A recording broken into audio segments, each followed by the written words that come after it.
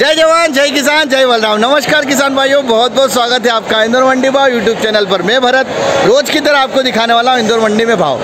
आज दिनांक है, आज दिनांक है, बता था दो तारीख कितनी है? दो अक्टूबर। और वार बुधवार।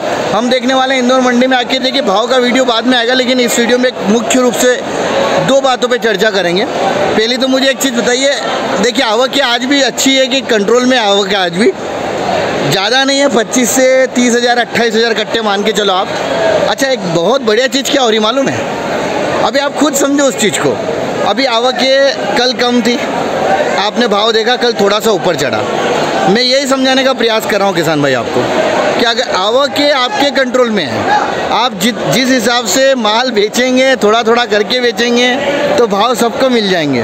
और अगर एक साथ लाने का प्रयास किया तो सब, आज क्या माल ले क्या कितने घंटे लेके पचास कट्टे पचास। तो अभी घर पे कितना है? घर में सौ पड़ा है। तो थोड़ा थोड़ा ही निकाल रहे ना तो मेरा आपसे ये बोलना जैसे मेरा तो ये बोलना है जैसे मान लो आपके पास अब सौ कट्टे हैं ना पचास भी मत लाओ। अब पच्चीस का बीस का कर दो। कि बीस बीस बीस के लोट ले जाओ। चार पाँच छः लोग मिला करके बीस बीस के लोट ले जाओ। तो उससे क्या होगा? देखिए मैं फिर रिपीट कर रहा हूँ। कल आवक कम थी। भाव एकदम से पहले स्टार्टिंग के फ़ेज़ में भी चढ़ा एक, एक आध रुपया। और जब दूसरा टर्न हुआ उसका बिकने का तो कम से कम दो से ढाई रुपये तक की कहीं ना कहीं उसमें तेज़ी देखने को मिली।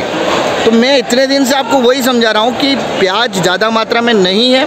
साउथ का, मेरे पास खबरें आ चुकी है कि साउथ का प्याज खराब हुआ है और वो अभी गीला माल है तो उस कारण निकाल रहे हैं। दूसरी चीज़, वो लोडिंग वाला माल है ही नहीं। जो साउथ वाला है अभी, वो लोडिंग वाला माल ही नहीं है। और जब वो लोडिंग वाला माल नहीं तो बचा किसके पास? इधर ही बचा ना अपने पास। तो मेरा आपसे ये बोलना कि थोड़ा थोड़ा मस्ती के साथ माल बेचो कोई चिंता वाली बात नहीं। जितने भी लोग आपको घबरा रहे हैं, मत घबराओ। जो बोल रहे हैं, बीस रुपये हो जाएगा, पच्चीस रुपये हो जाएगा, सब पागल बना रहे मैं इतना बता दूँ तुमको। नहीं होने वाला, इतना नीचे तो किसी कीमत पर नहीं जाने वाला अभी तक प्याज। और दूसरी चीज़ ये है कि समझदारी यही दिखानी है अपने को कि आवक जो अपन जैसे मान लो चालीस पचास कट्टे या साठ कट्टे ला रहे तो अब और आधी कर दो। जो साठ ला रहा था तीस तीस लेके आओ। और जो वीडियो एक और आ रहा है जिसमें हम लोग किसान भाइयों से ये पूछ रहे हैं कि कितना उनके पास माल पड़ा हुआ है अब। तो उससे भी आप अनुमान लगा सकते हो कि अब माल ज़्यादा नहीं है। दादा क्या प्याज लेके आए? प्याज नहीं नहीं। अच्छा क्या नाम? टमाटर? अच्छा टमाटर लेके आए। तो मेरा आपसे यही बोलना है थोड़ा थोड़ा मस्ती के साथ माल बेचो कोई टेंशन नहीं है। और आज के आवक की बात करें पच्चीस से अट्ठाईस हज़ार। बाकी लहसुन की तो छुट्टी आप सभी को पता ही है।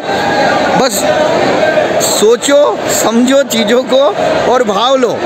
जल्दबाजी मत मचाना। इसीलिए बीच में अभी मैंने वीडियो बनाना चालू कर दिया, किस पे कितना माल बचा हुआ है। बस इस चीज़ का विशेष रूप से ध्यान रखो, मस्ती के साथ माल बेचना है। कोई चिंता करने की ज़रूरत नहीं है, क्योंकि इतना माल है नहीं।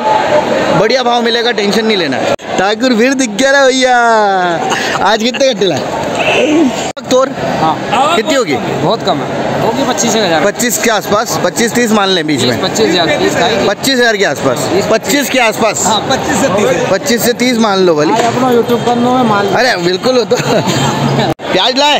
कितने कट्टे लाए?